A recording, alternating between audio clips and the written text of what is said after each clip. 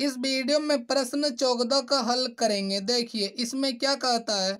एक त्रिभुज एबीसी की भुजाएँ ए बी और ए सी तथा माध्यिका एडी एक अन्य त्रिभुज की भुजाओं पी क्यू और पी आर तथा माध्यिका पी एम के क्रमशः समानुपाती है।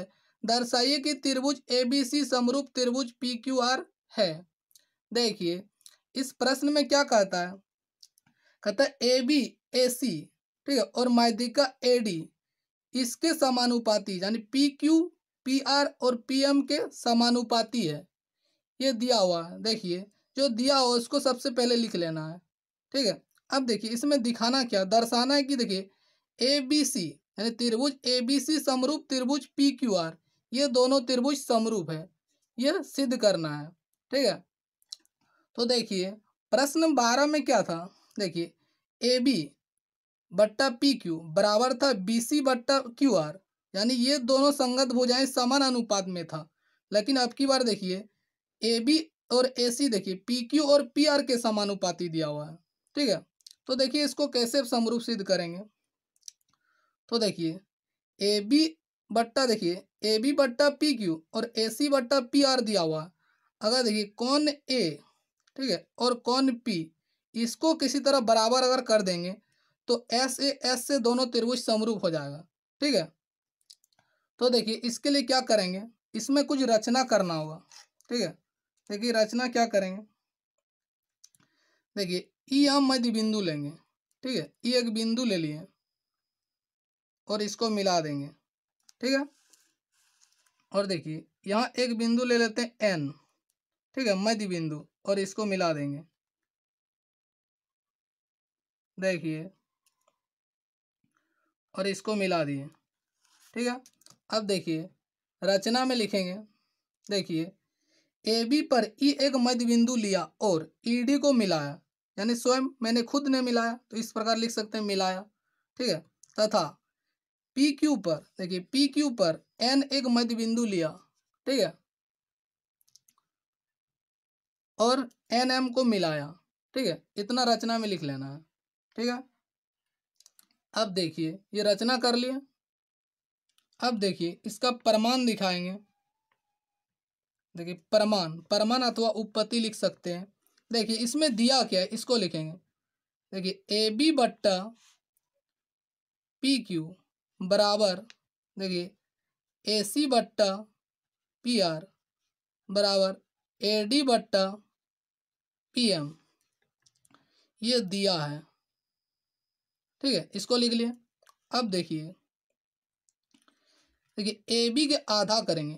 देखिए देखिए, त्रिभुज देखिए, त्रिभुज ए ई डी और त्रिभुज पी, एन, एम, ये दोनों त्रिभुज समरूप करना है।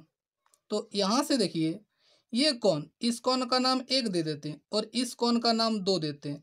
तो कौन एक और दो बराबर हो जाएगा। ठीक है, अगर त्रिभुज ए ई डी और समरूप त्रिभुज पी, एन, एम कर देंगे ये दोनों त्रिभुज जैसे समरूप कर देंगे तो कौन एक और दो बराबर हो जाएगा? ठीक है? तो देखिए, जब ई मध्य बिंदु लिए हैं तो देखिए, ए बी का आधा को ए ई लिख सकते हैं, ठीक है? तो यहाँ देखिए, ए बी का आधा कर दिए, ठीक है? और पी क्यू का आधा कर देंगे, इसका भी आधा कर दिए। अब इसको ऐसे भी लिख सकते हैं, एक बट्टा दो ए बी, ठीक है?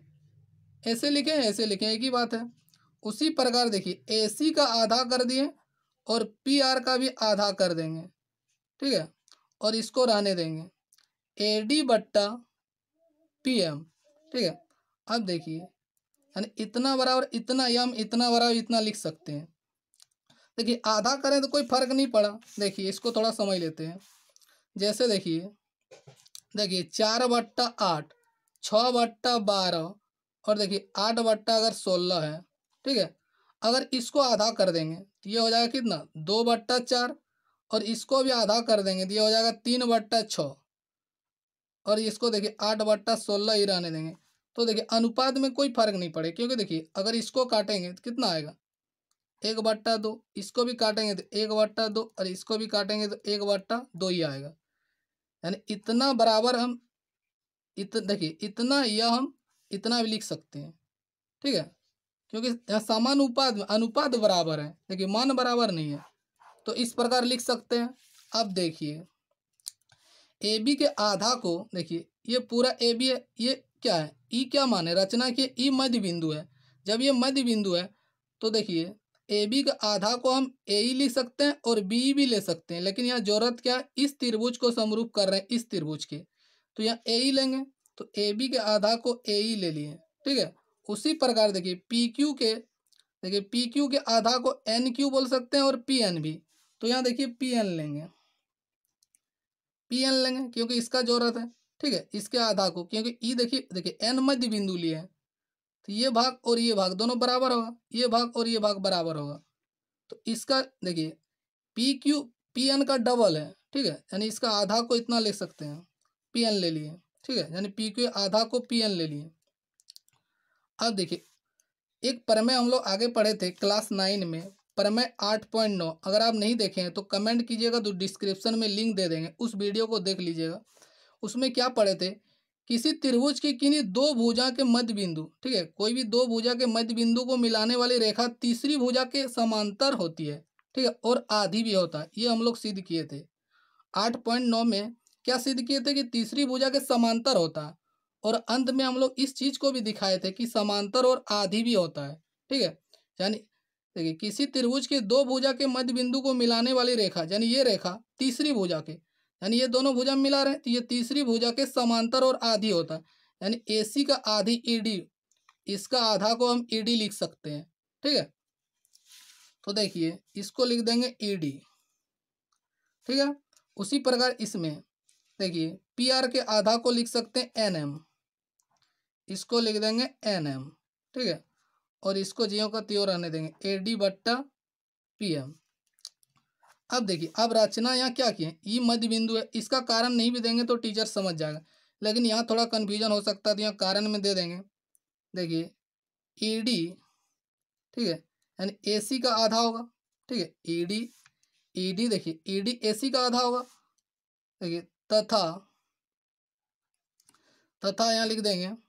देखिए एन एम एन एम देखिए एन एम किसका आधा? पी आर का। पी आर का आधा, ठीक है? यानी पी आर का आधा को एन एम लिख सकते हैं। अब चाहे तो यहाँ लिख दें मध्य बिंदु प्रमेय, ठीक है? मध्य बिंदु प्रमेय से, ठीक है? ताकि टीचर को समझ में आ जाएगा कि ये बच्चा कहाँ से लिखा है, ठीक है? कि आप मध्य बिंदु प्रमेय का इस्तेमाल करके लिखे हैं कि ये कि दो भुजा के मध्य बिंदु को मिलाने वाली रेखा तीसरी भुजा के समांतर और आधी होता है। तो यहाँ से देखिए AE देखिए AE बट्टा क्या आ गया? पी एन और ई डी बट्टा एन एम और ए डी बट्टा पी एम ये तीनों संगत भुजाएँ समान अनुपात में है। तो हम बोल सकते हैं, देखिए, अतः त्रिभुज ए ई डी समरूप है त्रिभुज पी एन एम के पी एन एम के। किस नियम से तो आप यहाँ समरूपता कसौटी लिख देंगे? एस एस एस तीनों संगत भुजाएँ समान अनुपात में। एस एस समरूपता कसौटी। ठीक है, इतना आपको कारण में लिख देना है। अब देखिए, ये दोनों त्रिभुज समरूप हो गया तो ये संगत कौन? कौन एक और दो, देखिए, कौन दो बराबर हो जाएगा? होगा ना? कि संगत कौन है? तो यहाँ से लिख देंगे, इसलिए कौन एक बराबर कौन दो? ठीक है, इसका भी कारण देंगे। देखिए, समरूप समरूप त्रिभुजों के संगत कौन ठीक है? इतना कारण में दे देना कि देखिए, कौन एक और दो क्यों बराबर हुआ? क्योंकि समरूप त्रिभुजों के संगत कौन है, इतना कारण में दे दिए। अब देखिए, उसी प्रकार देखिए, अगर इधर एक बिंदु ले लेंगे, यानी जैसे यहाँ ई डी लिए, देखिए ई जैसे मध्य बिंदु लिए, उसी प्रकार यहाँ भी कोई बिंदु हम ले सकते हैं, उसी प्रकार यहाँ भी कोई बिंदु ले सकते हैं। और वहाँ से हम देखिए कौन इसको बोल देते हैं कौन तीन, और इसको बोल देते हैं कौन चार। तो वहाँ से देखिए कौन तीन और चार को भी हम दिखा सकते हैं इसी प्रकार करके, लेकिन उसको लिखने का आवश्यकता नहीं है। आप डायरेक्ट लिख सकते हैं इसी प्रकार, जिस तरह इसको किए, यहाँ लिख देंगे इसी प्रकार। ठीक है, इसी प्रकार से हम बोल सकते हैं कौन तीन बराबर कौन चार। इसी प्रकार कौन तीन बराबर कौन चार होगा। ठीक है, उसको करके दिखाना नहीं है। चाहे तो आप ऐसे कर सकते हैं। यहाँ देखिए, यहाँ मध्य बिंदु ले लेंगे और यहाँ मध्य बिंदु ले लेंगे। और देखिए, ये त्रिभुज और ये दोनों त्रिभुज को समरूप दिखा देंगे। और कौन तीन और चार? संगत कौन बराबर हो जाएगा लेकिन करके नहीं दिखाना। ठीक है? आपको इसी प्रकार लिख देना कौन तीन बराबर, कौन चार? देखिए, इसको बोल दिए समीकरण एक और इसको बोल दिए समीकरण दो। अब देखिए, समीकरण एक और दो को जोड़ेंगे। समीकरण एक तथा दो को जोड़ने पर देखिए, समीकरण एक और दो को जोड़ देंगे। तो देखिए इसका बाएँ साइड में एक है, इसका बाएँ साइड में तीन, दोनों को जोड़े और ये दाएँ साइड जोड़ दिए। तो एक और तीन को जोड़ेंगे तो देखिए एक और तीन को जोड़ेंगे तो ये पूरा कौन ए निकल जाएगा? और उसी प्रकार देखिए कौन दो और चार को जोड़ेंगे तो कौन पूरा पी निकल जाएगा। तो यहाँ से हम लिख सकते हैं, यानी इतना बराबर इतना यह हम लिख सकते हैं कौन ए बराबर कौन पी, ठीक है? तो देखिए कौन ए और पी बराबर हो गया। ये चीज़ हम, हमें सिद्ध करना था। ये बराबर जैसे हो गया ये दोनों संगत भुजाएँ समान अनुपात में दिया है। अब यहाँ से हम समरूप इसको दिखा सकते हैं बहुत आसानी से। ठीक है? तो देखिए। अब देखिए।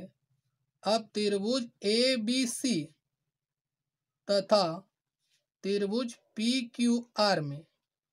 दोनों में देखिए। देखिए, कौन ए बराबर, कौन पी ठीक है? ये कहाँ से, अभी हम लोग सिद्ध किए हैं। आप यहाँ कारण में लिख सकते हैं, ऊपर सिद्ध हुआ है। ठीक है? ऊपर सिद्ध हुआ है। यानी देखिए, अगर हल करेंगे तो इसी का नीचे ही लिखेंगे, हम लोग अभी पेज बदल रहे हैं थोड़ा कैमरा में दिक्कत हो रहा है। तो कौन? ए बराबर पी तो ऊपर सिद्ध हुआ। या आप इसको देखिए, समीकरण तीन कर दीजिए। ठीक है? इसको बोल दीजिए समीकरण तीन। आप यहाँ से कारण में दे सकते हैं, समीकरण तीन से ये चीज़ लिखें। कौन? ए और पी बराबर है। ठीक है?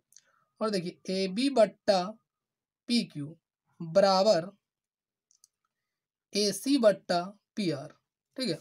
और ये दोनों संगत भुजाएँ ए बी और पी क्यू ए सी और पी आर ये दोनों संगत भुजाएँ समान अनुपात में है। ये दिया हुआ है, और कौन ए और ये कौन पी ये बीज वाला कौन बराबर हो गया? तो दोनों त्रिभुज क्या हो गया? समरूप हो गया। यहाँ कारण लिखेंगे दिया है, ठीक है? अतः त्रिभुज ए बी सी समरूप है त्रिभुज पी क्यू आर की, किस नियम से? तो यहाँ लिख देंगे एंगल देखिए side angle side S S नियम। यानी एस से देखिए सर्वांग समता में एस का मतलब होता है बराबर, ठीक है, समान। और समरूपता में एस का मतलब होता है समान अनुपात। तो एस एस समरूपता कसौटी।